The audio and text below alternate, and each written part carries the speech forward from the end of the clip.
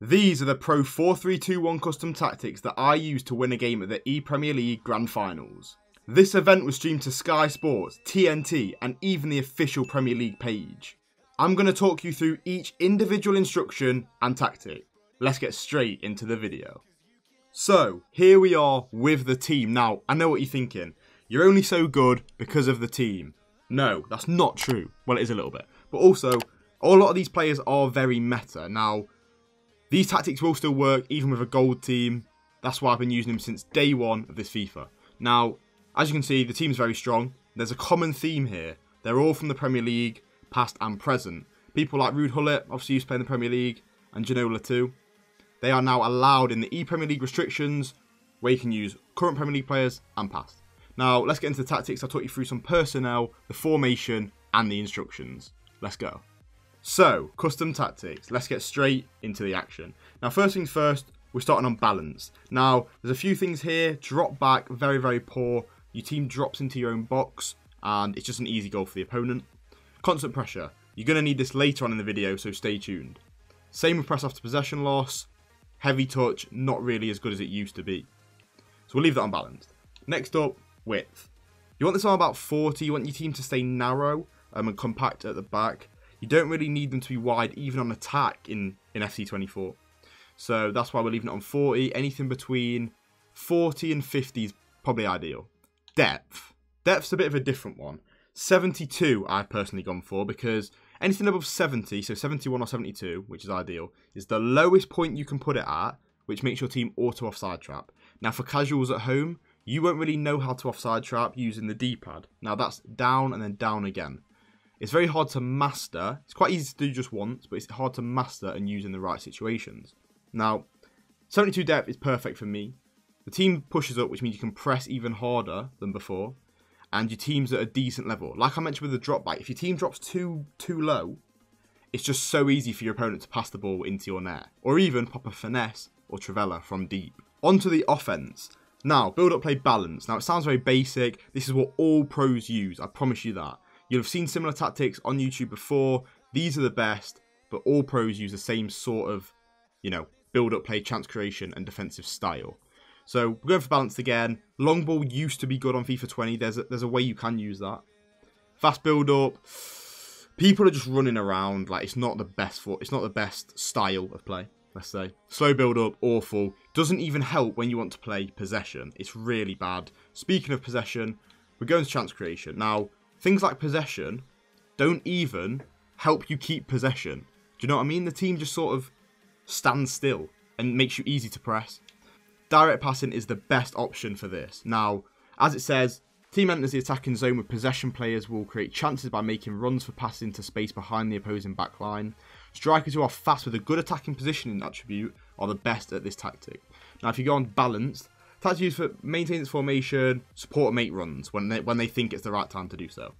So you're trusting the AI to be good. No. Direct passing is the one to use. Trust me. That's actually a really good point. You know the, the, the writing you can see just there?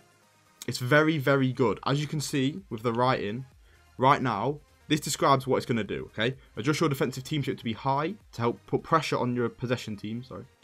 Your backline will be high and vulnerable for long balls in behind. Now, if you go under to 70, adjust your defensive team shape to be balanced, put your team in the middle of the pitch to try and win the midfield battle. So the wording's actually very important. You can actually see a lot of different things with the wording and pretty much just base it on how you want to play your style of football. Back to the width on the offensive side this time.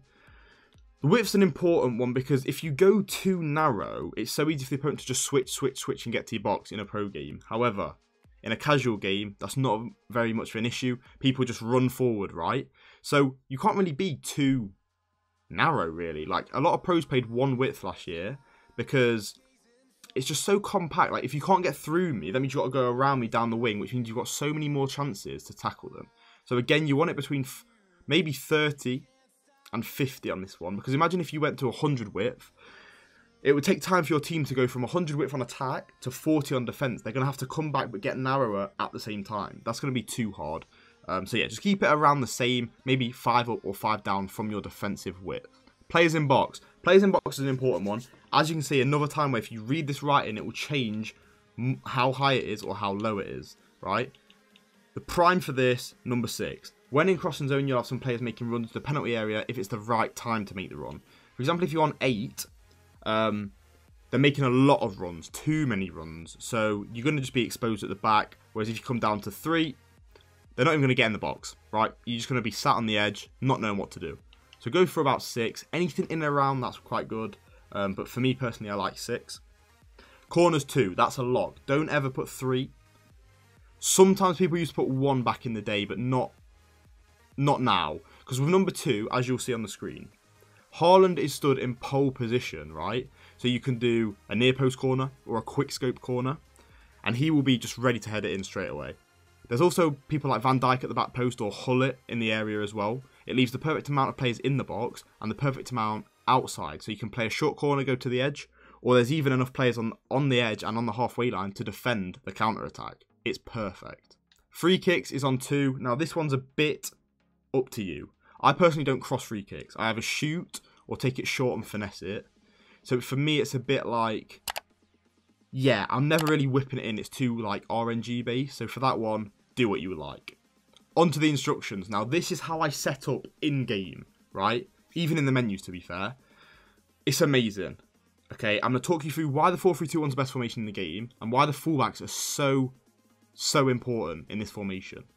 A quick disclaimer, all 3 and 5 back formations which could possibly counter the 4-3-2-1 are banned from competitive play. And if you were thinking about using them anyway, you're a rat. Let's get back on with the video. So, first things first, this is how the team looks on attack, and this is how the team looks on defence. As you can see, this team defends in a 4-4-2, making you so compact and able to defend. Just like Sean Dyche, two banks of four, and then two strikers up front. On attack, however, you've got three players pinning back the defence, meaning there's a man in between each defender, and then you've got the fullback on one side. So for example, for mine, I've got the right back on balance. So we'll go and look at that right now. We would usually start at the front of the instructions, but let me talk you through why the right back's on balance. Now, the right back's on balanced and overlap. This is because he can get into this area and basically occupy the space, wait for the ball, and just stand there. Because we use the D-pad instruction, hug sidelines, which you may have seen on my shorts, he's basically going to try and get chalk on his boots. And if you don't understand what that means, he's going to stand on the white line of the pitch and just wait for the ball. This means that I can play the ball about with Havertz or Van Dijk and then switch it over to him uncontested. Another reason this can be good is if you trigger Rodri when you have the ball with Kompany or Vieira and then get it across the pitch, you can hit that big switcher play manually using R1 and square. This will mean your player essentially manually hits a through ball at the perfect power. It's unstoppable. Onto the left back. Now, the left back's a bit different because he's playing a different role. He's playing as one of the defenders, one of the back three, if you like, with Rodri then going up, right? Left back's on, stay back while attacking, overlap. Overlap's just the standard, you know, you don't want him to run inwards because then you may be exposed at the back. Um, but stay back while attacking. He's obviously still going to run up if I do trigger him myself, which I like to do from time to time. But for now, he's staying back there.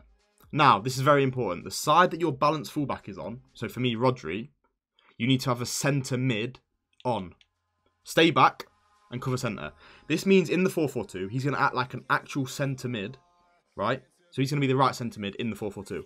Centre centre mid is going to be De Bruyne on the same tactic, stay back while attacking and cover centre. Now, you could put one of them on balance if you want to be a bit quicker in attack, let's say. But if you want to dominate the game on the edge of the box, both on stay back, they'll be there, ready for the ball, to keep possession around the edge of the box, moving like Pep Guardiola. Now, the left centre mid. You're thinking it's the same, right? No. Balanced cover wing. Cover wing's the very important one here because he's essentially going to be playing left mid on defence. He's going to be transitioning from left centre mid on attack and then shuffling over to left mid on defence. Now, this is perfect because you've got a left mid, a left centre mid, a right centre mid, but you're probably thinking, where's the right mid? That's where Henry comes in, the right forward. Now, Henry's on getting behind and come back on defence. Come back on defence is pivotal here, yeah? Because that's what makes him shuffle back into the right mid position. As you can see, this is how they're set up in game. Basically, I'm trying to give the pro information into a casual's mind. Now, getting called a casual is not a roast, it's a compliment, because being a pro at this game is very stressful. and hard and annoying. However, that is the midfield four's instructions. Onto the strikers. Very important here. Gullit, central striker. Stay central, getting behind. Now, this one's pretty much locked in. The getting behind on that and stay central. Just pretty much locked in. Like, use these. However, left forward. Stay central, getting behind again. Now, there's a few issues here. Getting behind, maybe take that off and maybe take stay central off because when the left forward's loitering at the left, you know, the back post, let's say. So imagine I've done that play I was talking about. Havertz to Rodri. Rodri's now got space to run into. Haaland's at the back post, by the way. Team of the year Haaland with gold aerial, okay, and 99 jumping. Hang it up at the back seat using L1 and square, and Haaland will just leap like a salmon. He'll jump about eight eight feet off the floor, knock it down to your teammate, and put it in the goal like me. Where you need to be aggressive in those one-on-ones where you feel like you've got the upper hand and you just take off. That's the thing. It's a one v two. So if in a one v two, you gotta take risks because if not, if you play it like patiently, there's no chance of you defending it well. Rodri out wide, floating into the box. Haaland will get up for it. Heads it down. He's onside. Redlac and Nottingham Forest. So now you've seen that. That's how I scored one of my goals at the E Premier League, and that's what I'm trying to tell you guys. Get it over to your right back who's unbalanced, hang it up, and score that goal. It's very, very hard to defend. It's a bit ratty, but it's worth it. Now, the one thing you're thinking, what about the goalkeeper? Redlac. What about the goalkeeper, mate? Well, I've got the goalkeeper unbalanced. I like to manually bring him out using Y and also double Y for when someone's going to cross or finesse or trivela. Now, if you don't know how to do that, like I said, make sure you check out my shorts on YouTube. Um, that's pretty much where, you know, I'll be showing all types of tutorials and how to get better at the game. And also follow my Instagram, Alfie Calder. Now, that's the tactics and instructions. If you enjoyed this video, please like and subscribe to the channel. I'm going to be uploading all sorts of tutorials, tips, and tactics videos in the near future. Leave a comment on what you want to see next and have a great rest of your day. Peace. See